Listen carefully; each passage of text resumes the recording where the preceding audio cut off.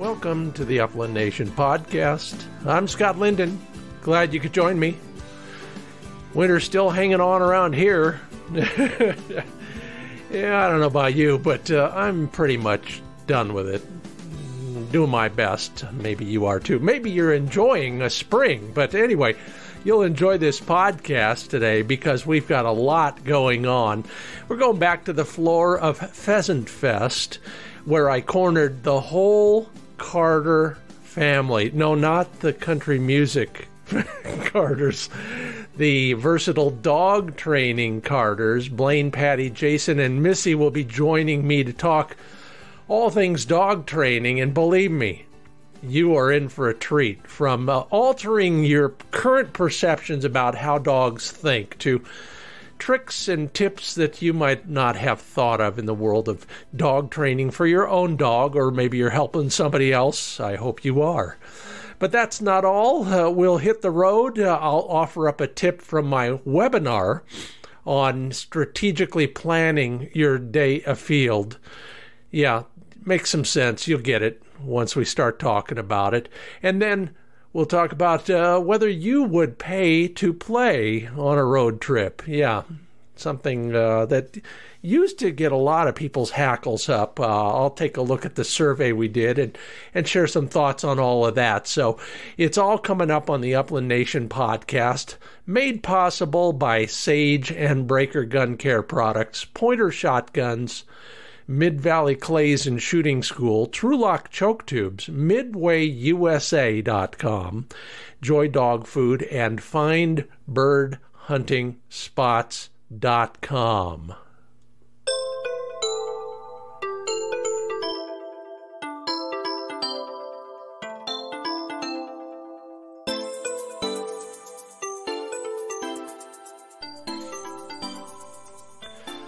Well, despite the recurring snow, Flick and I are still working on uh, steadiness again. I guess I'll call it reworking. And he seems to be making progress. You know, one of the things that I've observed, and, and I think you'll hear this and when we talk to the Carter family later in the show, but uh, the more positive, um, not just positive encouragement you can provide a dog, but the more positive experiences the dog has during training, I think the more willing he is to be more compliant.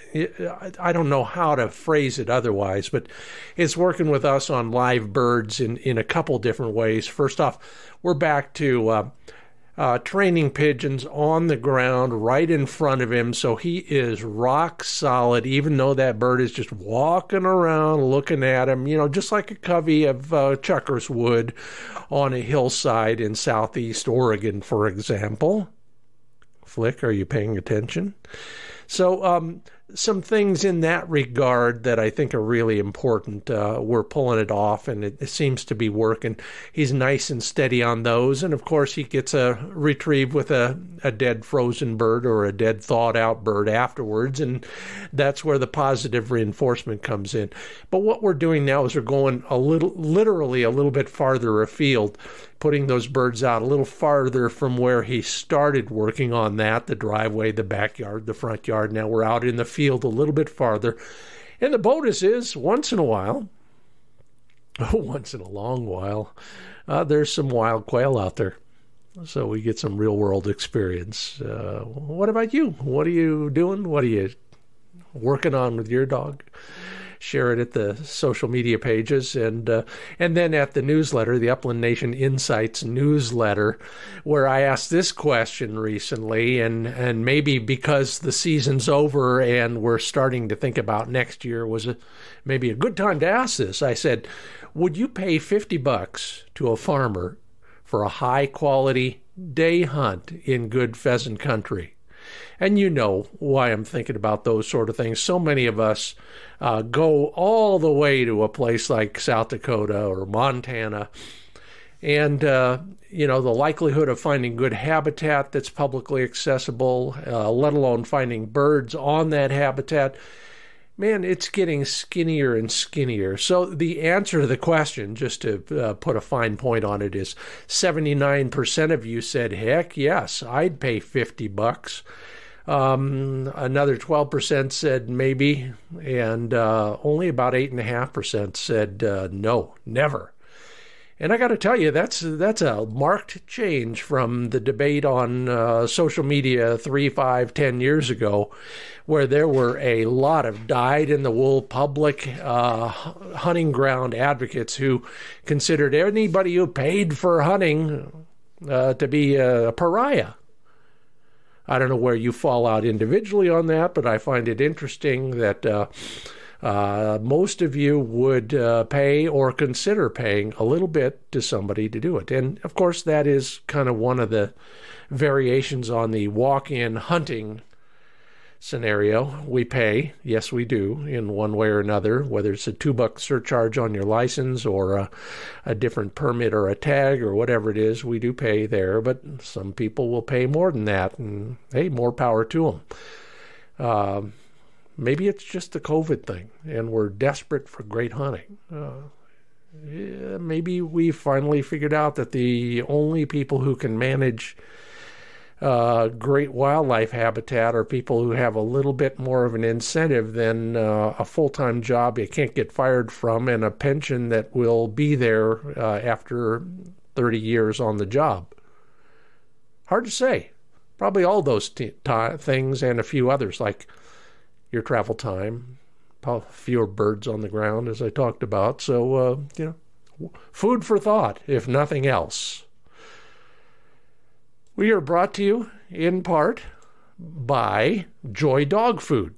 JoyDogFood.com is where you learn more about their performance formulations, and they have several depending on what you're looking for in your dog. Now, this company may be new to you, wasn't new to me. I remember them way back in the day when I was introducing Happy Jack dog care products to the bird dog market because they were in the same world, the hound dog world. They know a little bit about dog performance and uh, they know how to get it through diet. That's why their uh, ingredients and their manufacturing process are all American fixed formulas, so there's no variation from bag to bag in what's in there and why it's in there. And they're available at feed stores throughout the United States. You can learn more about all you need to know at joydogfood.com. And learn all you need to know about the gear you're stocking up on for next season at midwayusa.com watch some of the exclusive videos and articles that I have put up there, thanks to MidwayUSA.com. Most recently, uh, I talked about the essential training tools everybody needs. Yeah, take a look at that and then shop for them at midwayusa.com. They carry just about everything for shooting, hunting, and the outdoors. Just ordered some socks and some camping gear for next season all at midwayusa.com. Everything from dummy launchers to brush pants, boots to uh, electronic collars. It's all there at extremely competitive pricing. Yeah, 20,000 of those products will ship free. It works. MidwayUSA.com. Take a look. I'll see you there.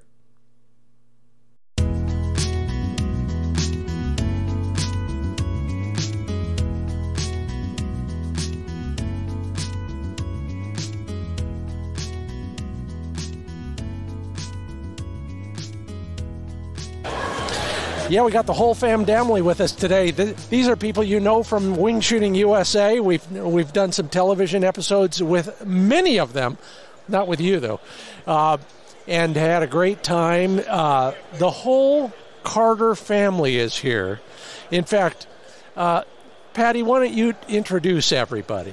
Okay. Well, I'm Patti Carter from Merrymeeting Kennels and uh, the Carter family, mother, my son Jason, my husband Blaine and my daughter Missy. And Scott, this was their Christmas present, a trip to Pheasant Fest. Oh, I love it. Well, ho, ho, ho. Glad you made it. Thank and you. I can't believe, you know, you've been to one before, right? What's that? You've been to Pheasant Fest before? Okay, good. All right. Well, we're going to do this. Wait, I just realized, everybody, being a music major, you'd think I could count to four, but I can't. I counted to three instead. So we're going to be swapping out microphones back and forth. So bear with us a little bit. But but the Merrymeeting Kennels uh, thing is probably the best way to start this all out. You folks are very active in the training world, even some breeding, very active in NAVHDA, which is where we all got to know each other. We had some great fun in, in the deep south on a couple quail hunts over the years. I'm still using some of those pictures. Those have been some of the highlights of my television career. But we're not here to talk about me. We're here to talk about dogs, training, all the things that are important to the folks who listen to this podcast. Blaine, you have some headphones and a microphone on now. Let's just jump right in. Tell us a little bit about the operation and what you guys are uh, doing mainly now. You mean at, at Merry At Merrymeeting.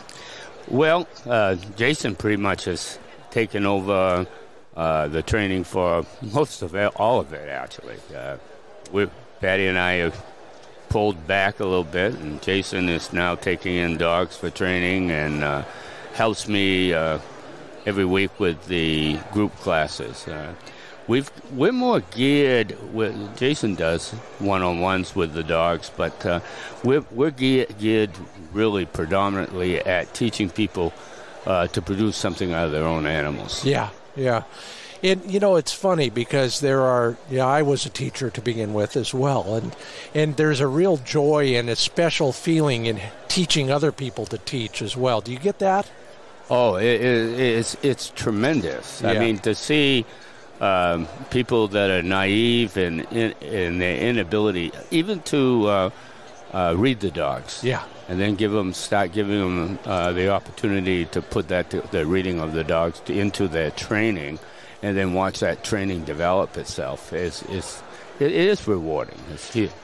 Um, uh, Patti, he used a term twice now that I I really am big on, and that's reading a dog. You mm-hmm. know, I wrote a book called "What the Dogs Taught Me" because right. I I was looking at them all the time trying to learn stuff. Right. Um, describe how we read a dog. Okay. So Blaine is being very humble with he, in his introduction because you know we are a family and we do a lot together, and he. He, he does a lot of training. He has taught us all because he can read a dog so well, Blaine. And so we've watched and learned, and I, I love it when I hear verbiage that he has said over 20, 30, 40 years coming out of my son's mouth and out of my daughter's mouth. so, and it's, it's cool. I mean, Missy is, has educated herself so well on all the intricacies of, of dog breeding, dog raising, health and fitness. And, you know, she adds so much to that part of it. So we are a team. Yeah. So it's yeah. it's really works well, Scott. Well, I you know I know that you two, you and Blaine, are great trainers of people too. But exactly. some some of it was in the DNA, no doubt oh, about that. For sure. Um, tell me, uh, Jason, what is the most important thing that you've learned from these two over the years about helping us train our dogs better? One of the one of the things that um, we're getting a lot of questions about, which is yeah. different in um, some of the training from earlier on, is um, how do you train your dog was was in the past. Everybody wanted to, okay, A to B to C. So nowadays is why are the dogs, why are you training this way? We're getting a lot of the why questions now, which is very interesting because that goes deeper into like what you're talking about. We're reading dogs. Yeah. And so growing up, you know, they called my father like he, he was a dog, you know, he, he, he could, he intuitively look at a dog and know what it needed where all of us are going, okay, why? Why, why are you doing what you're doing? It doesn't make sense to us, you know? And so, over over how many years now are we? We're 40 years of uh, training. well, the sign says 1976. 1976 is when they started. So um, many years of development. You know, in, in, and we work together. Missy is one of the best trainers in our group when it comes to early developmental puppies. She understands that shaping and behavior, and that how to get how to modify behavior using um, reinforcers is she's she's incredible with it. So that's fascinating. So we all pick up from each other. You know, originally you were a no no treat guy. You know, uh, you do you do this because I told you to, and then then here comes mom with treats. And she's jumping ahead in his her training and just flying right along, and he's going, "Okay, hold on, what's going on here?" I love and, it. Yeah, yeah. That so there are still family feuds once in a while, or although maybe you've resolved most of those. Well, you just used a word that I'm intrigued by, and Missy, you're the person to to address that. Uh, and that is this whole idea of shaping behavior in young dogs. Um, I tell everybody that a dog is learning from the day it comes out of the mother's womb and we better start teaching or they're going to learn something we don't want them to learn. But that's as far as I would go. You want to give us a little bit more guidance in that world? Keep us between the white lines? Sure, sure. Well, you know, many other trainers will say the same thing is that you actually start your training the day you go to the breeder and pick that puppy up. And it's, you know, if you start to think of it that way, you really are. You're shaping that behavior. Um, when I bring a puppy home or I start training a puppy, I start in my kitchen every morning, first thing in the morning, with their food, and I start creating the behavior that I want to see in the dog, and that food just allows me to lengthen and and take advantage of their hunger to shape and get the behavior I want, but I make the picture smaller. And you'll hear Jason and Blaine talk about that a lot. Is when you start training, you want to make that picture small and you want to create that situation that is a positive you know result for you and the pup and to end on that positive note. We so, can't end on that. You got to tell me how you make the picture small. I start in my kitchen. I in every morning for example i will have a handful of food. I will have the puppy sitting right in front of me and i'll have my feet against the kitchen cabinet so the dog has nowhere to go but me. And i will sit teach sit, I will teach come, I will see, whoa, I'll stay. Um, work on all different types of behaviors around their food. Yeah. Their food comes from my hand. Yeah. So it never comes from a dish. And so they really are reliant on you and you get their undivided attention. Yeah, you know, you bring that up and I've in previous podcasts I've talked about impulse control. Mm. Absolutely. And that's what you're doing right there. And and and you're doing it on a micro basis. Mm-hmm. Now at some point with as many dogs as y'all feed, you do put food in bowls, right? Absolutely. Absolutely. Or else it would be an all-day affair. Right. Yeah. Yep. Uh, but they learn to respect those other dogs eating out of their dish when you are feeding your new pup, right? And yeah. you're teaching impulse control you don't get to have their food. This is your food. It comes from my hand. Yeah. And until they're able to do that. Yeah. At an older age. Yeah. Well, let's let's riff on that a minute, Blaine. Um, when we talk about sh- shaping behavior in a, a slightly older dog, you know, an, a you know six to twelve month old dog, do, we obviously do things different, uh, almost because it's a physical, a more physical process. But what are we? What are we bad trainers not doing that we should do more of in that in that kind of age range? I don't think you reached into what she was saying. One of the neat things I just want to add before we jump way ahead. Yeah. She's feeding by hand. Yeah. If I wanted to teach a dog bite inhibitors. Yeah. And shape that. Okay. So in some cases with older dogs, overly exuberant dogs that are very mouthy, yeah, we got a corgi like that. I like using my hand because now I, you want the food, you work for the food, and the food is you can't hurt me to work for that food. You can't, you can't over, over grab me. You can't, you can't have overly possessive attitudes towards it. If you want to eat, you need to be, you need to do it quietly and comfortably. Yeah. yeah. So now I'm shaping some stuff shaping uh, uh, his delivery for hard mouth, for, for some of those things that are going to come later. I, I now have even even how we they go ow yeah. Or or, or yeah. stop it right? Well you have just just with what she's talking about on the food have started that inhibit those inhibitors that will help you in, in, in solidifying not to be hard mouth not to be aggressive with your game that kind of stuff. Okay brett if you're listening there's the best explanation for that situation you had a while back. I'm glad it's cleared up. But if you ever have it again, remember what Blaine just said. this is a story from not too long ago when I got this email and it was frantic and it was about a dog that had become. Uh, you have a term for it, I'm sure. He was guarding his food and getting aggressive about anybody who would uh, even look at the bowl you can nip that in the bud early on with with a Missy's shaping behavior, your continu- your your 201 level of the same thing. Those things really matter early on. Um, Patti, how about as an older dog? What are, what are some of the things that the I know I focus on mistakes because we all know the right way to do it and then we do it another way. But when you're dealing with a class or an individual uh, bird dog trainer, uh, uh, hunter, what are what are the most common uh, questions they have and problems you need to help them solve? Retrieving, you know, very uh, immature retrieving. They haven't got they haven't got the the professionalism in the dog yet. The dog isn't paying attention. We You, you sound like you're talking about a human being. it is. It- well, I mean, we have to think of uh, what we want for that dog to do. yeah, And, yeah. and we have to break it down. And I always Yeah. tell people if they have, if I see a mistake they've made, Yeah. the dog isn't making a mistake. The dog Yeah. is only functioning on what they've been taught. yeah, So um, I said, okay, break it up. You know, go back to having your dog stay on the place board. Yeah. And then you leave your dog and call your dog. Get that part correct. Then go back and put a bumper in the dog's mouth. So muscle memory will get that dog to you in the same way it did without the bumper. Yeah. So break it up, and that you know it works. But I don't think people think outside the box. Okay, keep going because this is Okay. the this is the other email and phone call I get very often. We got those two steps. Yep. Yep.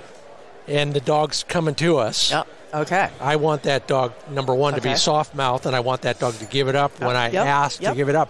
So take me to that level. Okay. So you have to decide as a handler how you want the delivery. Yeah. So that that staple st- that part first part was come to me and sit beside me. So Yeah. I have to decide whether I put a place board in front of me Uh-huh. or I stand beside the place board. So delivery either to my side or to my front. Yeah. So that in place, then you work on manners. And the food is magic. Because you've taught the dog, your hands goes to your chest and you look down and this food. The dog is going to look into your eyes. I I no I I live this every day. I got a five-year-old wire hair. You haven't met him yet, but uh, that's exactly just by sheer mistake did I realize that that is what a really helpful uh, attention-getting device. Yeah. And then, do we offer that food as the Uh-huh. release? Yeah, as, it, as you develop the Okay. trait, you offer it Yeah. quite often, and Yeah. then you start holding back a little bit. There you go. The dog's performance will come up Yeah. because he's trying to figure out how to get the food. Yeah. Yeah, so, so- I'm doing this. Uh, you can't see any of this, but I'm going to describe it. So what I've gotten to from here is Yep. Mm-hmm. food in my hands in front of my chest. He's looking at me. I take the empty hand and go up like this. He follows that hand, and I can take. I can order the release, Okay. and he's more than willing to give it up because he knows eventually that means we're doing this. It's a deviation of what I do, but Yeah. I don't do the hot, you know, the flagged hand. Well, But- you, yeah, but you- because you have short But hairs most another of the time. thing, Scott. Another thing. Another thing, Scott. I do early on is teach eye contact. Yeah. So yeah. on the training table, Yeah. just look at my eyes. Yeah. You know, and that look at my eyes. Yeah. And then you transfer that to the ground. Look at my eyes. So. So how do uh, how do you do that, Jason? You're about ready to tell me how to do Yeah. that. So how, without food, or maybe Yeah, that is yeah. the trick. It is. With you tell us how you get a dog to make eye contact when you're not doing, say, a retrieving drill. Right. So um, we, we focus drills are what you're talking about. Okay. So we'll do a we'll we'll do a uh, we use place boards. We'll have the dog sitting on the place board, and we'll get the dog's attention with a treat close to our face, and we get we put a command to it. Whatever we use, watch, and uh, the dog makes eye contact. The second it makes that eye contact, you you and something that worth talking about is verbal markers. Yeah. So so you don't really necessarily have to have a treat. Young pups, you do Yeah. because their attention span's so short. But Yeah. as they get older, we put marker commands to it. Uh, yes, good dog. Yeah. And and so then we can reach into our pockets. Sometimes the treat becomes a distraction, I get it. and so yeah. so so you don't want for some dogs you just don't want that available because they'll be chasing it. that's the that's the clicker guys rationale. Exactly. Um, you know, we don't we don't want to distract them too much with a high value treat, Yep.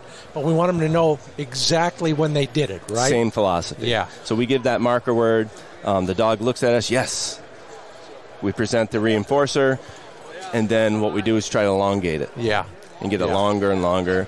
Um, our rewards. It's important to talk about rewards. Our rewards have to be worth working for. Yeah. So a lot of times we only use certain treats for certain behaviors. Yeah. Some of our toughest treats will be their most powerful reinforcers. And the other part of it is we're not treat dependent. We do variable rewards. Okay. So, so sometimes it's a treat, sometimes it's praise, Yeah. sometimes it's nothing. It's intermittent. It's Yeah. a variable reward system. So the dog will actually work harder, not knowing what it's going to get. You oh, know, that's fascinating. So literally and figuratively, they're on their toes all the time. you got to keep them on their toes. You got to Yeah. keep you got to keep their training exciting because we Yeah. we can bore them, you know, and then we lose behavior. Why are you uh, looking at me when you say boring? Right. Yeah, I get it. And and these are also fundamental if your mom was a kindergarten teacher for 32 years, I get it. I never learned it enough to, to apply to dogs, but it's absolutely true. So let's go through the repertoire. Missy, if, if we're going to train dogs over the course of a, well, a dog's lifetime, um, the rewards are all the things that Jason mentioned. Uh, what about other kinds of positive reinforcements? Praise. Keep Lots of going. praise. Keep going. Touch. Yeah, I mean, all different forms of praise, right? Yeah. Okay. Good, All right. Good dog. Good boy. Yes, the markers Yeah. and the food. I mean, that's Yeah. you know what I- I, use. Yeah. I hunt in the desert. Instead of food, sometimes it's water. Oh yes, yep. I've seen some handlers do that. And and then the other one, and I don't know quite how to how to uh, translate this, but sometimes what a dog wants to do is go back to hunting. Mm-hmm. So a quick release from whatever they're doing Mm-hmm. might be an idea. Jason, he couldn't wait. He Yeah. stole stole the microphone back Sorry, from sorry. Blaine. He's having a hard time with us, but I think I know where we're going here. yeah. Right. But, but I wanted to just back to praise a little bit um, and how to praise your dog and just the importance of making it worth the efforts of your puppy. And you brought up touch, and I think touch is one of the the least utilized thing. you know, yeah. we're all focused on treating, um, but there's all kinds of ways of reinforcing. Um, your your your your attachment, the the dog, your leadership when you were hand feeding, um, that creates a your, your dog has pleasure when being with you. There's there's that touch you know and you're melding it with treats. You're melding it with certain commands like good dog yes. And so um, i can't stress enough that that, that reinforcement system that you're using um, includes the all of his favorite toys includes all of the food all of your your relationship with the dog and you're putting it to words so that you're developing this really rich relationship with your puppy. And it's really based on you putting in effort. Well rewarding your dog isn't always easy you know it's Yeah, easy to say yeah. good dog let's go Yeah. you know, in, in with our older dogs, we can do that, but with puppies, it takes a little effort. It takes some some enthusiasm to really get them to do what you need them to do. two quick items before the break, and I, I think we got the, the microphones on the right two people for this. Uh, what are the magic food treats, and do we ever use baby talk?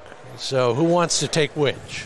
I use their food. I never treat with anything other than their food. Really? Yeah. How have you learned that the hard way, or what? No, they want if they're working for their food, they're actively interested in what they need to get from you. Yeah. Which is their food, right? Okay. They're going to do whatever they need to do to get what they want, right? Yeah. And their food. You're you're not unnecessarily giving them extra calories that they don't need. Uh-huh, Um, uh-huh. Treats are not nutritionally dense. They don't provide really any uh, anything other than empty calories. So food, their dog food, their kibble is designed for them, and they will work for it. I'm, I'm. I'm the bad parent. Yeah. So, uh, so, so you've got a pocket full of chicken skin? I'll, I'll, I'll cheese, hot Yeah, dogs, yeah. liver snacks, whatever whatever Yeah. the dog is driven for, and the and the if, if there's an area that the puppy's having difficulties in, Yeah. and I bring out those intermittently, Yeah. I, I, I get excitement. Yeah. You know, I get I get a change of attitude. And just backing up one more time, one more thing about praise is um, you, or reinforcement is tone of voice. Tone of voice is super important because your dog studies you every day. It knows how you're speaking. It knows your emotions before you do. So your inflection of how you talk to your puppy and the, and the, those high falsetto tones Thank you. are very very reinforcing and Yeah. powerful for a young pup. No, I, I can't agree more. I've watched in, in the obedience world, in the agility world, and then I hunted with a uh, German VDD handler who talked to her six year old dog like it was a six year old child. And that dog would have walked on his lips for that person. She was so good at it. And I, I see it more in, in women than in men we're just a little uncomfortable talking like this all the time. But uh, good boy, Jason. Thanks Yeah. for bringing that up. Absolutely. and it's hard for men Yeah. to do that. Yeah. And Blaine, Blaine, Blaine does bring He's it out agreeing, in them. yeah. yeah. Many times we've explained to handlers, you need to step it up a notch. You Yeah. need to bring it up a few octaves because you want to get that desired result. Yeah, and again, I don't think you have to always do it, but I, I, I've seen so many guys walk a, a, a, a high energy Labrador trying to get him to walk at heel. Heel, heel. And instead, remember Barbara Woodhouse? Wookies. it worked. It really did. And on that note, yes, you had to hear it. We're going to take a quick break. We're here at the Pheasant Fest and Quail Classic in Minneapolis with the whole fam family, the Carters, from Blaine to Jason to Patti to Missy. We'll be back in just a moment. Yeah. And we will get back to Pheasant Fest and the Carter family and all those incredible insights very soon. First, let me remind you that we have the road trip feature coming up where I'll talk about um, making your drive slightly strategic for a bunch of good reasons. So we'll talk about that. After this word from Mid Valley Clays and Shooting School, they are the source for Browning shotguns. Uh, MidValleyClays.com is where you learn more about what they have in stock.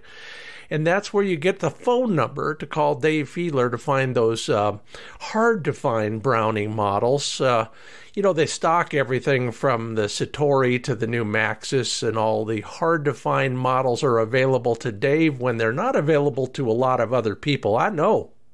I've talked to the guy who manages the shotgun department at Browning. He is uh, at the other end of a direct pipeline to midvalleyclays.com. If you're up for a Browning, doesn't matter which kind, they've they've got it or they can get it at midvalleyclays.com. And time is running out, as they say. TrulockChokes.com is having a sale on their Pinhoti turkey chokes just in time for spring. 15% off all Pinhoti turkey chokes through April at TrulockChokes.com. And if you don't think uh, a choke has a lot uh, to do with your shooting ability, your shooting success, take a look at some of the pattern papers and read some of the articles at TrulockChokes.com. I think you will change your mind. I know I have.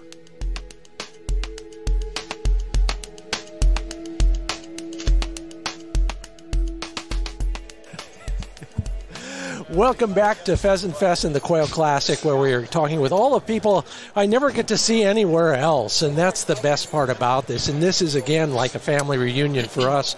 I haven't seen you all except in passing at who knows what in the last couple years. Uh, the whole Carter family is here. We're going to start with Blaine on this one because, Blaine, you, you um, you've guided a bit as well, and you're an avid hunter too. So let's get, let's get on to the you know where the rubber meets the road. When we're handling dogs in the field, whether we're chasing woodcock, ruffed grouse, or something else, Bob White's down in the south where we've been together. What what are some of the things that we could do better in the field to handle our dog and get more toward the ultimate goal, peak performance? Well, you know, if you look, I, I got to go back. You know? I'm sorry. I, I bet they argue every night at dinner. if you think when they when they were injecting with a young dog touch, Yeah, now we're getting into equipment. yeah, Yeah. You're getting into your long leads. You're getting into your e-collars in some cases. You do uh, th- that touch portion is the communicator to the learning. It- May it be a tug on the lead, how to interact, and then you, they talked about tone and where you're going. Nothing any worse than going hunting with somebody that is just constantly hacking Yeah. at that dog. And if you hunt grouse, you, you know, and they're hacking, the dog's not listening, the dog's not attentive to his hunt, it, the dog's interrupted, you're interrupted. Uh, sometimes makes a difficult hunt. Oh, you know, remember the Charlie Brown cartoons where the teacher would talk? And then remember the Gary Larson cartoon where it was blah, blah, blah, blah, ginger, blah, blah, blah, ginger, blah, blah. There, there is a maximum number of words a dog wants to comprehend in a command, for example, or in a hunt, right? Well, of course there is. You know, there's the turn command, there's a stop command, uh, come command. Uh, there's a number of commands. But you're not doing a play by play. No, I got a rule. Yeah? My rule is don't say anything unless you got something to say. What a concept. I wish some of my interviewees would remember that. Oh wait, no, that's what they tell me all the time. yeah, maybe once or twice. all right, so so now now that you've said your bit about that, back to my question, which is, what what's the biggest mistake we make when we handle our dog in the field besides giving a, a running commentary? Not staying in the game with the dog. And this dog's out there hunting, right? I think a lot of handlers says you got to stay with me. Well, if I had a young dog going to the field, I need to stay with him. I need to be able to see his mistakes, and I need to be getting and communicating with him when he is making his mistake. Then, as they get older and more reliable, I can start relaxing because now I've set distance. Yeah. I've set, I've set communication. I've set a, a number of things where I'm able to operate him when he's most distracted, as well as being able to relax and let him do his thing, and then see what behavior is going to come. Because if you get in there and you're constantly hacking at them, yeah, they're going to make mistakes. Yeah. they're going to bust the bird. They're going to do some things, and then, and if that takes them in too deep into the desired package, then shut them down. There's no problem with that. Now, come on, come back here, listen to me. Let's try this again. It's that reset where the learning is. You used two words that I'm fascinated. with. Did you say desire package? Yes. Talk to me.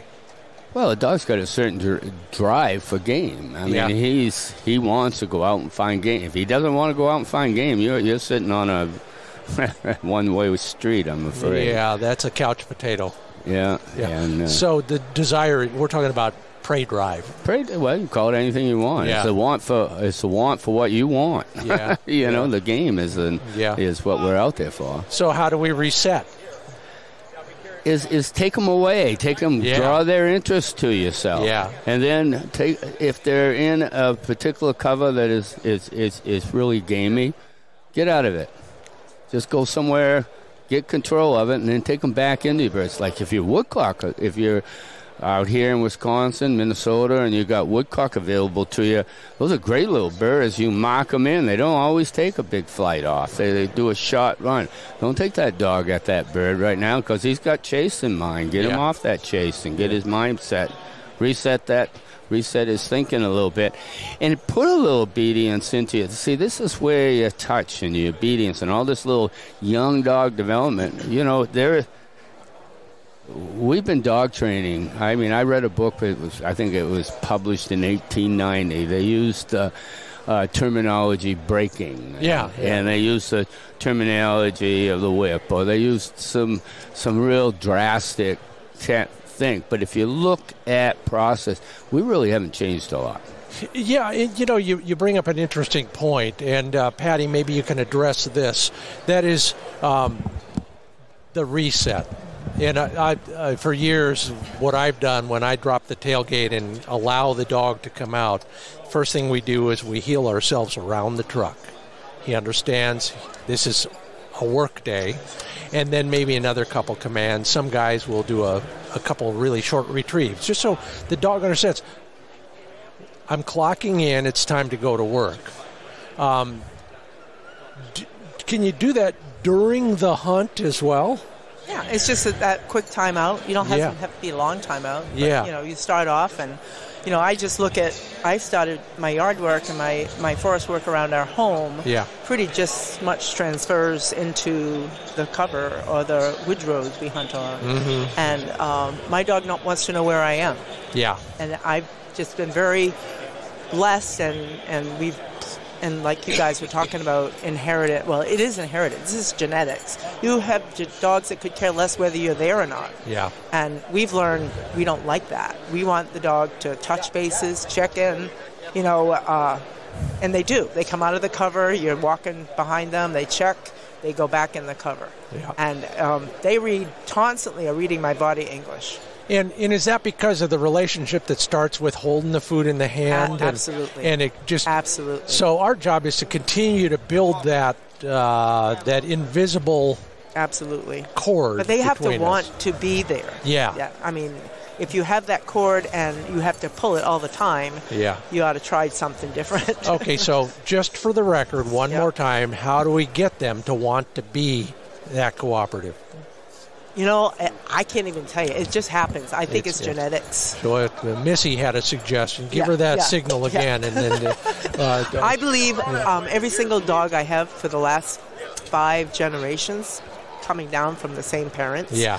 have been uh, they want to come back. I toot, Yeah. toot my whistle, Yeah. and it transfers to positive. yeah.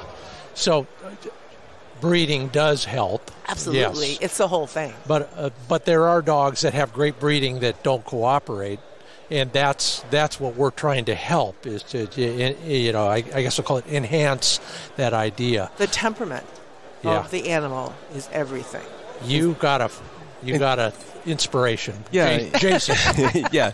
And, and once once the dog, once the bird becomes part of the process, our, our food treats are of no value to the dog. Yeah. The dog's not going to retrieve to you the bird because you have a treat in your pocket anymore. Really? It's, it's, it's, its passion is to find that game. So for us, you know, once once once we're in the woods and we're we're after the birds, we're, we're not bringing treats with us. Really? Yeah. Okay, so at some point uh, they've graduated. Yeah, we, we've grown past that. It's, their prey drive is up to a point where food wouldn't matter anyhow. Okay, hold that thought, Missy, because I want to take one more tangent on that one. Sure.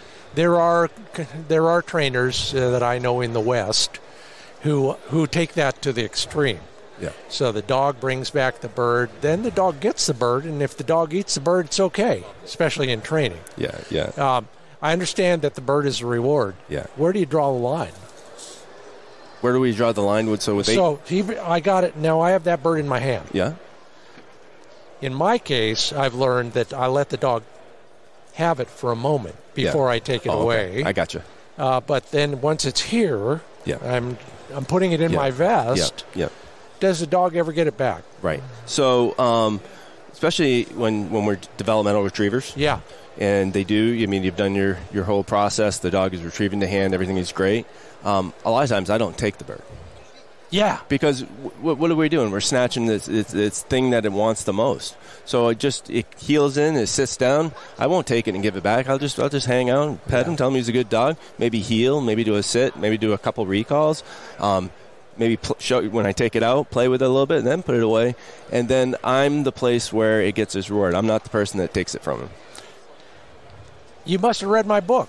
Yeah. yeah. No, I learned. I probably stole that from your parents. Now Yeah. that I think about it, but that idea just resonates so much. And I think a lot of things we do in training is we're too fast. We do everything ah. too fast. We, we, we go in, we flush that bird too fast, we ask for that recall, and then we take we snatch it. I mean, everything we're, we you know, our priorities when we're out in the field for, for us is to see the best in our dogs. We're out there for the dogs, you know, like anybody. Um, you know, if, if you if you're if you're filling the if you're looking to fill your bag with, with game, um, sometimes you lose why you're out there in the first place. And I think it's super important to know that you know that retrieve. You know, you worked hard to get that Yeah. retrieve. I want to see that retrieve. I, I put some blood, sweat, and tears into Yeah. that. Yeah. You know, and then if that's a reward for the dog, I'm not going to take it. I'm going to that. I, I'm living in that moment. You know, Okay. I'm holding that grouse. I'm looking at that bird. I'm seeing the dog with the bird in its mouth. That's a special moment for any upland hunter. And and and to hurry that That's process. when you take the picture there, Yes. Seth. yeah, exactly. You know, and to hurry that process, I think does does the whole hunting experience a disservice. You know, I, I, I, I just want to amplify that. Sure. How many times do you get that opportunity in the course of a hunt? Why not milk it for all it's worth? I mean, really, you're absolutely right. We're lucky enough that we have two, three, a hundred grand finales in a hunt. Absolutely. Not a hundred. If we ever had a hunt like that, it'd be kind of boring. But the idea that we're, you said we're too quick about all that stuff. Absolutely true. Thank you. Yes. I want to talk. You got it. I have. a- I have a- Patti's I have got to put her two I have- cents yeah, worth I in. have to. Because I, I'm into the whole part of the hunt for me. It's like I love my dogs, and Of I love them watching them. Yeah. And so, you know, on point, it's like Yep. take a Yep. picture, take a picture. And Terry Wilson said to me one day, Terry of Ugly Dog, he said, "I suppose if you're in the grouse woods, you're going to take a picture of your dog on point." And I said, "Absolutely." Yeah, that might be a little harder than in the pheasant field Yes, yes, or a, but or a quail, absolutely, yeah. quail so cover. I mean, that part is the quality of everything we've worked on so hard. Is that moment Yeah. between the, the shot, the, your bird, the, your dog goes out. Maybe he finds it. Maybe you hit it. Maybe you didn't. And, ma- and the retrieve. And a lot of times, as our dogs get older, I know mine, maybe not yours, but they'll come in. They can't wait to get rid of it Yeah. because they're going out again. Yeah, yeah, exactly, and that's what we were talking about, Missy. Is it, it, the the the hunt, the resumption of the hunt being a reward in itself. I know you had another inspiration, Missy, that you wanted to bring up before Dad chimes in on something. I Well, want we I all want to ask him a touched on question. it. Yeah. So we all touched on it. But one thing I can add is you want the dog wanting more. And the dog's desire to work for you is they get to go they get to do that scenario again and again and again and you want and that that creates that dog looking for where you're going what direction you're headed in and checking in with you on a regular basis and it creates just a much more pleasurable hunt Yeah. and they want to do it again. So always leaving them wanting more is going to create and strengthen that process. And I will, say this: there's another trainer that I've worked with a bit who, uh, first off, says don't be a greedy owner when you're training. You Don't wear the dog out through that that part of the uh, communication. But another one will say, There's a rule. yeah, Yeah, there's rule two now. yeah, Yeah. go ahead, When do you stop? precisely. Stop when the dog wants more. Yeah, there you go. It's just like a Broadway musical. Leave them wanting more. Um, the third most common question I get is I'm afraid my dog might be coming gun shy. Oh. How do I introduce a dog to gunfire? And, you know, granted, it's a long process, but what are some of the things that we should make sure we do early in the process? Whether it's a puppy and it's like many people do, banging pans together, or it's a Right. an older dog and some form of a cap gun, blank pistol, whatever. Do you want to start, Missy, with the puppy side? Sure, on the puppy side, while they're in the whelping box, you might play a Western movie on TV quite loudly while they're in the whelping box. I mean, these are just early things you can do, funny little things you can do to create some noise and exposure to different things. Having your puppies, I mean, mom and dad, the puppies are in the kitchen. They Yeah. are around other barking dogs, they're around pots and pans, they're around people. The socialization is huge at an early age. But actual gunfire, you might just even have your dog in a kennel or with you in a car, and you might go somewhere where they're training and testing, or and, and there's gunfire happening in the distance as early exposure. Yeah, in the distance, and I, and I just want to make clear, we're not talking about bringing your dog to the gu- to the gun club and walking him up to the trap line. Never, No. No. never, never seen a good outcome from that, have you? And avoid parades and fireworks. Parades and fireworks. Yeah, yeah. I'm just thinking about this Fourth of July where we're going to have both. Where I go, Blaine, Uh, gunfire. yeah, yeah. It, it's it's a distinct. Hey, we all. No matter what kind of dog breeder you are, or what kind of, yeah, we all every once in a while, and it doesn't matter. I mean, we've we've we've seen it in our own breeding lines. Is is anytime there's a sensitivity to sound. Um, you see a puppy is sensitive. You drop a food pan and it's too loud. Then I would I anytime I see it, I don't avoid it, Yeah. but I reduce it. Ha. I reduce it to the point where I can interact positively with the animal, and then I can increase, Yeah. Yeah. And, and, and that will change the behavior. yeah. So when when we're talking about reducing, I, I'll I'll suggest two ways. One is it's a, a lower volume level. Right. One way to get that is greater distance, especially if we're talking gunfire. Are the are there other ways? Well, I don't introduce the gunfire until uh, one of the things I think is most important is that the want for game comes into that effect. Talk to me. It's a, it's like anything. If you were in a whelping box and you had a shy little puppy because of something that's happened, you're going to be in there with them supporting them, not being shy of that particular one function. Yeah. Well, why would it change no matter what the age is? yeah. Yeah. Yeah. So you can you can desensorize that sound. Yeah. I, I'll tell you a neat little trick for the dogs that have gotten into it. There's a distinct difference between sensitivity and gun shy. Yes. And we distinguish those in the in in the NAVHDA testing system. Yes. Yeah. So, but we've had some success. The real bad ones, you know, there are there are situations where it's not going to be corrected. Yeah. I'm sorry, the disposition of the animal is not going to happen. But we took a piece of uh, two by fours Yeah. Yeah. and, and put a backing on it because when I first started teaching, not being smart and being a maner, you know, but your fingers sometimes got in the way. So you might want to put some kind of handle on the back side of it. But what you can do is you can get the snap out of a 2x4 Yeah. coming together Yeah. that's quite similar to the gun. Mm-hmm. And when the sensitivity, so around your feeding, yeah. you can go in the house and you can lightly do it. Yep. And you can intensify it. One of the things you want to do too for those dogs is get them heavily on game. Is when they're on game, and then that's where your distance works, Yeah. right? And one of the things we did, we, we start with clappers. I'll start them lightly, and then I get loud and, until I see the dog. I don't care. Then we take a gun and put it off at a distance, right? And I, I bet this is funny. Patti will be at the house. She'll be on the front deck. I'll call her on the phone. And I got waiting for the dog going in on point. I got the dog on point. And I go, okay, let her go. I'm in charge of firing the gun. I love it. Yeah, yeah. At cell phone distance. Cell I phone mean, that's kind of scary, Yeah. but I, I love the idea. I got to just interject. You know, you can do it with the two uh, because you, you showed me, but nobody can see that. Two by fours. Two two by fours. Yep. And you clap them together. Yeah. Essentially, you can spend. 90 cents and do that. Yep. Or you can go like when I was a musician sitting in the back of the orchestra and the percussion section had the $300 version of the clapper. Uh, but I like the 2x4s way better.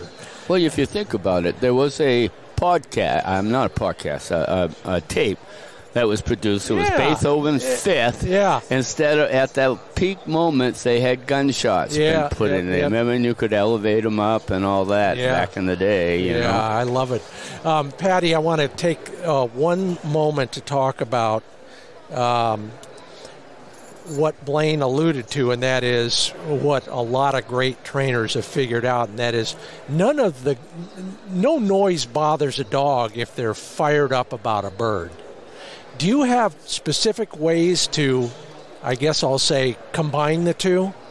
Yeah, I will. I'll have a very well socialized I'm talking the puppy I pick out the litter. Yeah. You know, I've presented it perfectly in the kitchen, like you talked about pots and pans, pots and pans and those clackers. Food on the floor. Just throw food on the floor. Have a litter of Uh-huh, puppies uh-huh. and, and start low and build up. And they associate. When that happens, they come tearing to the kitchen Yeah. because it's pots and pans and clackers. Yeah. And it's food. So Yeah. association. So I take my dogs outside and associate. We go. I mean, I don't even think about it because I, I honestly, we've done so much prep work with our pups that I don't worry about that first gunshot. People ask us, like you, you say you have lots of questions ab- about creating gun shyness or having gun shyness. I don't even think about that because I, I just have the gut feeling I know it's going to be okay. It's it's become academic because Yeah, of all the I've prep prepped work, and the shaping, all these things that we've done well in advance. I love it. You know, we could go on all day. We'll do this again, uh, just like dog training. We want to leave everybody wanting more. I wish we could carry on for the rest of the day, but in the meanwhile, just a reminder you're listening to the Upland Nation podcast. We've got the Carter family, Merrymeeting Kennels. We've got Blaine, we got Jason, we got Patti, we got Missy. Uh, uh, two generations of incredible dog training uh, experience, knowledge, and wisdom. You put the headphones back on, Patti. You want to close us out with something? Is No, you I- just you- can't resist. No, saying I'm something just, else? I'm very proud. yeah, Yeah. and I, and, and so am I. I'm very, I'm very glad we could finally do this. Could I just speak once? What a dumb question. Of- of course you can, Blaine. is uh, they say the best teacher is uh, a teacher that uh, the student teaches him something. I have a family of it. Yeah, yeah, it's absolutely true. I love it. We'll do this again. Carter family, Merrymeeting Kennels.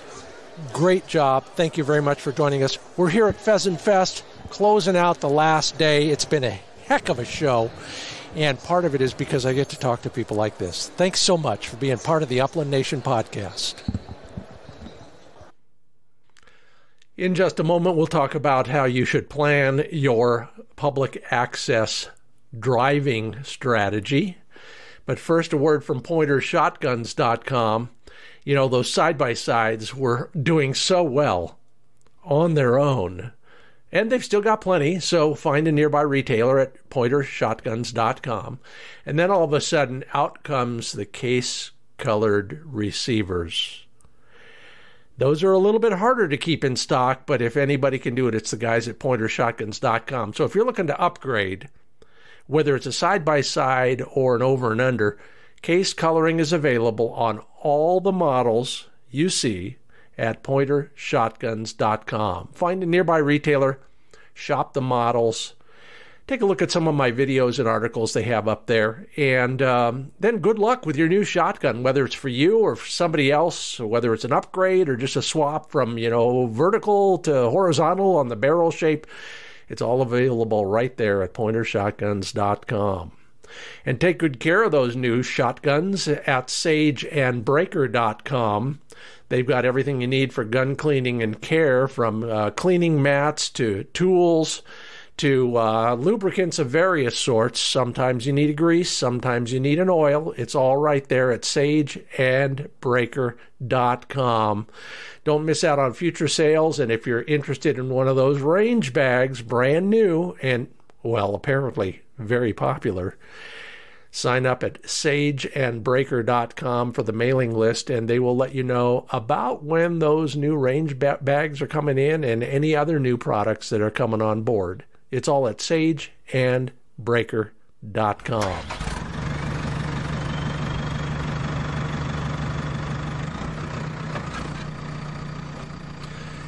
Well, like you, I'd rather hunt than drive. That and uh, being in politics in another life have led me to um, a philosophy, if you will hope for the best and plan for the worst. And every day that you're hunting, you have the same opportunity. My days have an itinerary. I'll take a look at that hunt atlas and save myself a little bit of grief and a lot of time. And this day and age, at five bucks a gallon for diesel fuel, a few dollars as well. I'll find that spot on the hunting atlas where several public access properties are fairly close together. And that's what I'll do for that day. I'll head out there uh, first thing in the morning, and in fact, I'll often go as far as I can on that itinerary and start at the farthest end, then work my way back. But the logic here is pretty indisputable. If one place doesn't work out, whether it's because there's already somebody there, it's flooded, it's been overgrazed, it got hayed before um, the, the contracts were done, whatever, you are confident you have another spot to go to and you're not making decisions at the spur of the moment. Yeah, put them in a clump or in a logical line from the farthest towards town or towards to wherever you're camping, and you will have a little bit more confidence in your, you know, day, your hunting abilities. It all falls into one. That's one of the tips you'll find at my webinar. Go to findbirdhuntingspots.com. The pop up will direct you to the webinar. Take a look. Hope you'll join me there. Thanks to everybody who's listening. Sure appreciate that. Thank you to the Carter family, Blaine, Patti, Jason, and Missy for all of your insights and wisdom. If you've commented at the social platforms or you took the survey at my weekly newsletter, I sure appreciate that. Nice to hear from you and hear what you're thinking about. Do me a favor and leave a rating or a review wherever you get your podcasts. That's how we grow around here, and we are growing at the rate of about 14% every couple weeks. Thank you.